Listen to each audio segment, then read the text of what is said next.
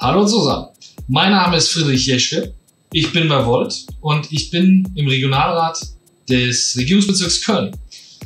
Und was dieser Regionalrat tut und warum ich Fraktionsvorsitzender der Fraktion Die Linke Volt im Regionalrat Köln bin, das möchte ich euch in diesem Video kurz vorstellen.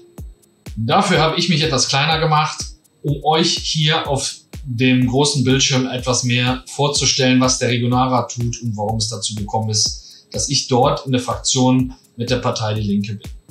Deswegen zunächst, was ist der Regionalrat Köln und was hat er für eine Aufgabe? Dazu sollte man sich vielleicht noch mal ganz kurz die Basics anschauen. Ich möchte sie euch erklären. Hintergrund des Regionalrates ist die Arbeit im Regierungsbezirk. Ihr seht hier auf der Karte das Bundesland Nordrhein-Westfalen und dort unten im linken Eck ist der Regierungsbezirk Köln. Und der umfasst natürlich mehrere Städten, Kommunen, Gemeinden. Und wie das Ganze aussieht, habe ich hier etwas größer mal dargestellt.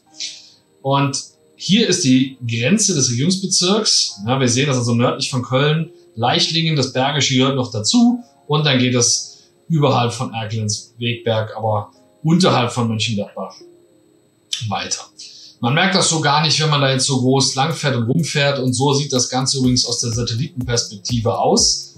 Und wenn man sich das Ganze mal anschaut, dann stellt man fest, hier sieht man schon, warum dieser Regierungsbezirk so besonders ist und warum es auch ganz spezifische ja, Aufgaben dieses Regierungsbezirks gibt, auf die ich gleich nochmal eingehe. Denn wir sehen hier eine der größten menschengemachten Eingriffe auf dem Planeten.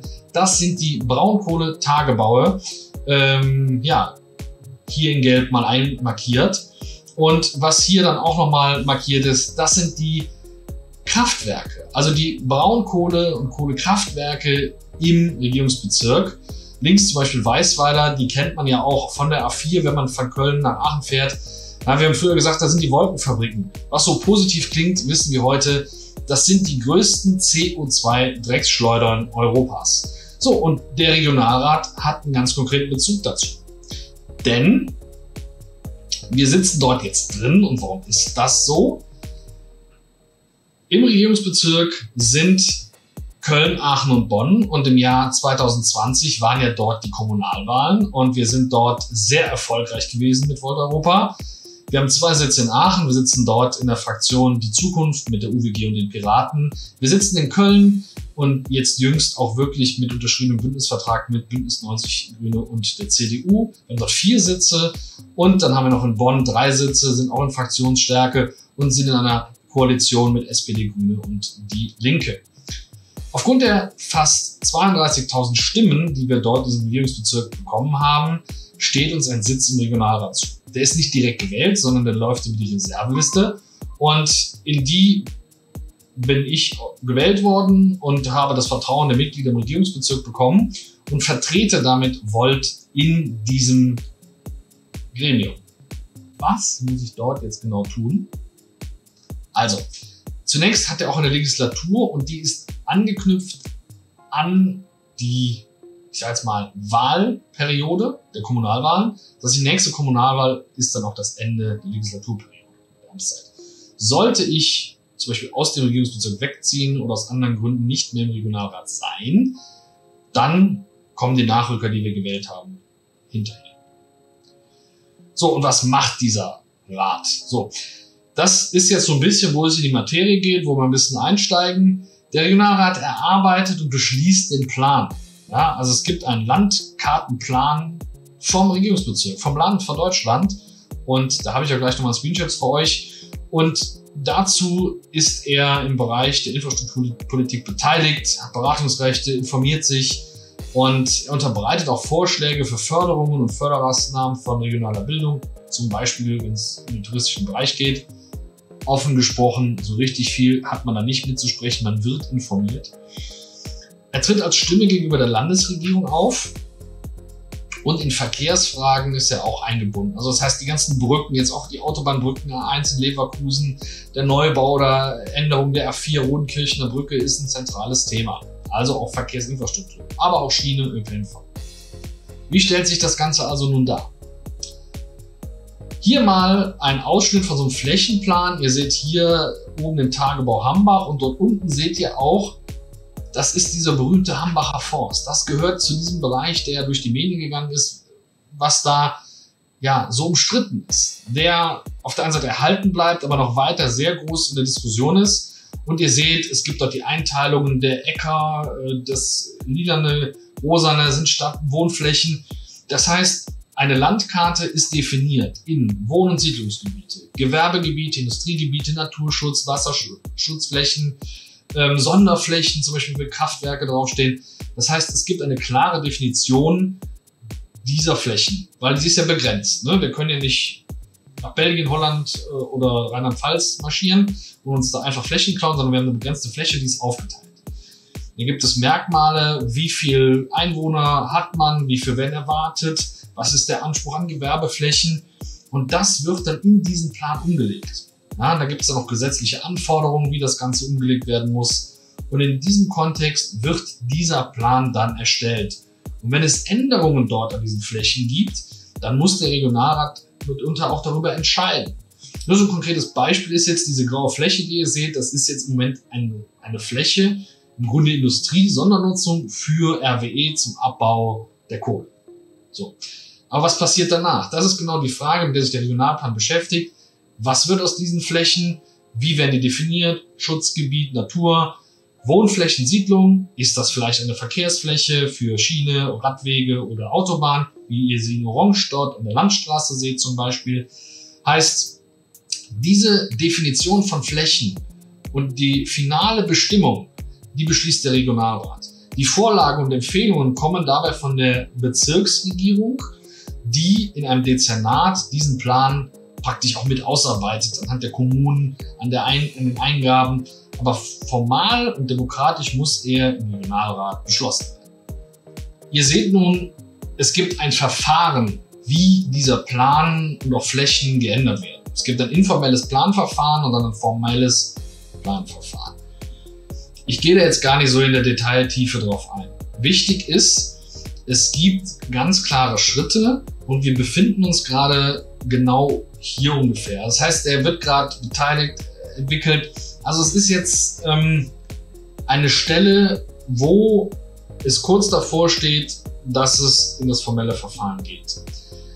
Ich möchte euch dieses Verfahren hier gerade einfach nur mal vorstellen, in ganz grober Form, da ihr seht, es sind verschiedene Stellen involviert. Also nicht nur der, der, das Gremium des Regionalrates, sondern es gibt auch die Planungsbehörde, die Kommunen, die Kreise, Verbände sind drin.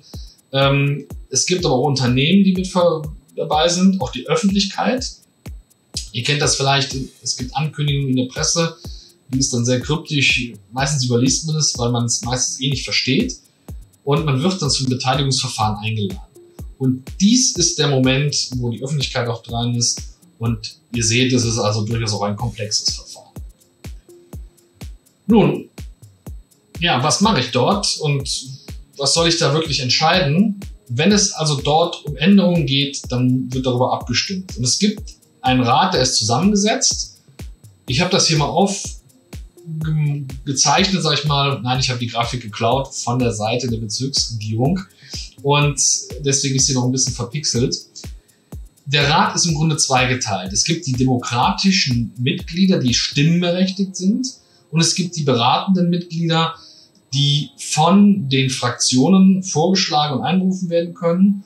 Und es gibt auch die Sportverbände, Naturschutzverbände, ihr seht das hier unten nochmal, die, die mit in dem Rat sind und äh, uns beraten als politische Instanz. Und die werden bei der konstituierenden Sitzung, die am, äh, im Februar, am 19., äh, werden die mit bestimmt. Man kann auch weitere bestimmen, äh, kann der Rat bestimmen. Und dort werden dann die Änderungen beschlossen. Und jetzt werdet ihr euch fragen, warum bin ich denn hier in der Fraktion jetzt mit Die Linke und Volt? Nun, ihr seht, Volt hat ein Mitglied im Rat und die Linke, die man kurioserweise in unserer Farbe dort markiert hat. Und ich zeige euch jetzt mal, warum das wichtig ist, dass ich dort nicht als Einzelmitglied alleine rumsitze.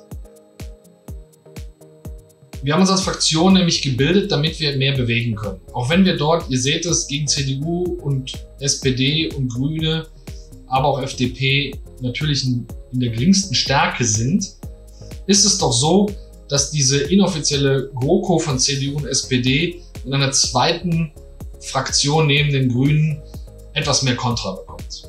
Ich habe mit allen Parteien gesprochen, außer der AfD. Leider hat die SPD nicht auf meine Anfrage reagiert zum Austausch. Und ich war schon so gut wie einig mit den Grünen, mich dort zumindest anzuschließen. Und dann habe ich auch mit den Linken einen sehr guten sachlichen Austausch gehabt, denn wir haben viele gemeinsame Interessen. Und die sind vor allen Dingen, was das Thema Kommunikation und Transparenz betrifft, aber auch das Thema Bürgerinnenbeteiligung. Denn dieser Rat setzt sich natürlich so zusammen, aber als Fraktionsloser sitzt man zum Beispiel nicht im Ältestenrat und in dem wird sehr viel vorgesprochen. Das ist praktisch dort, wo die Fraktionsvorsitzenden sitzen, die Fraktionsgeschäftsführer, der Fraktionsvorsitzende und die stellvertretenden Fraktionsvorsitzenden. Aber es sitzt auch die Regierungspräsidentin dabei. Das heißt, dort passiert schon sehr viel und dort wäre man also nicht dabei gewesen. Und jetzt muss man auch wissen, der Regionalrat ist das eine Gremium, aber er hat eine Kommission für Digitalisierung, die sehr neu ist, eine Kommission für regionale Strukturfragen, eine Kommission des Rheinischen Reviers, eine Kommission Regionale 2015 fürs Bergische Land und eine Verkehrskommission, die nochmal zwei Unterkommissionen hat. Dazu gibt es den Braunkohleausschuss und es gibt die Steuerungsgruppe zur Kommission im Rheinischen Revier. Die ist nämlich eine Kombi mit dem Regionalrat Düsseldorf. Ihr habt eingangs ja den Plan vom Satellit gesehen. Das überschneidet sich nämlich etwas, das Rheinische Revier. Also gibt es dort noch eine Steuerungsgruppe. So, als einzelnes Mitglied säße ich nur im Regionalrat. Dank des Teamworks mit der Partei Die Linke ist es so, dass ich in diesen Gruppen und Kommissionen Mitglied bin. In der Steuerungsgruppe, in der Kommission für regionale Strukturfragen, in der Kommission für Rheinisches Revier und, das ist mir persönlich vor allen Dingen auch sehr wichtig, in der Kommission für Digitalisierung. Daher habe ich mich entschlossen, mich einer Fraktion anzuschließen und in den Gesprächen hat sich auf dieser Ebene mit der Partei Die Linke es als bester Moment erwiesen, für Bürgerinnen und Bürger dort eine sachliche, konstruktive Politik zu betreiben. Das erweist sich auch bis jetzt in den ersten Sitzungen in den Kommissionen und in den Räten. Und deswegen möchte ich dort vor allen Dingen dafür sorgen, dass ihr es wie hier einfach mal verständlich erklärt bekommt und dass wir Kommunikation und durchaus auch Transparenz schaffen. Denn die Sitzungen sind durchaus öffentlich. Ihr könnt dort hinkommen, ihr könnt dort Teil sein, außer die des Ältestenrates. Und ich lade euch auch ein, kommt doch mal dazu, schaut euch das mal an. Die sind nämlich in der Regel noch vor Ort. Und ähm, sobald es vor allem sich wieder ein bisschen lockert, kann man auch definitiv wieder viel einfacher damit teilnehmen. Ihr seht also, nur in einer Fraktion kann man etwas mehr mitbewegen, Fragen stellen und mit entscheiden. Und das hat mich dazu gebracht, wie gesagt, äh, auch mit den Linken zu reden. Wer mich ein wenig kennt, der weiß, dass ich der Partei Die Linke durchaus kritisch gegenüberstehe und auch nicht alles teile, was die sagt. Ich habe aber die Vertreterinnen und Vertreter der Partei auf dieser Ebene, wo es konkret um die Flächen für den Regierungsbezirk geht, wo es um nachhaltige und wichtige strukturelle Entscheidungen geht, als sehr konstruktiv und sachlich erlebt. Und deswegen habe ich mich entschlossen, mit denen für den Regierungsbezirk zusammenzuarbeiten. Ich glaube, auf Bundes- und Europaebene wäre das eine ganz andere Konstellation. Ich glaube, da, da, da wäre wär ich auch nicht jemand, der mit den Linken zusammenarbeitet. Ich glaube, auf der Ebene wüsste ich ja nicht, ob die Linke mit Volt zusammenarbeitet. Aber hier stellt sich die Frage für die Bürgerinnen und Bürger nicht, sondern es geht ja darum, dass wir eine gute, eine sinnige Politik machen und die geht immer nur in Teamwork. Und zusammen vertreten wir auch schließlich 90.000 Stimmen des Regierungsbezirks. Und so haben wir uns halt auch pragmatisch entschlossen, dass wir so als Team etwas mehr für diese 90.000 Stimmen bewegen können. Ich hoffe, ich konnte euch ein wenig erklären, was wir tun und warum wir das tun. Und natürlich dürft ihr unter dieses Video jetzt eure Fragen stellen. Ich beantworte sie gerne.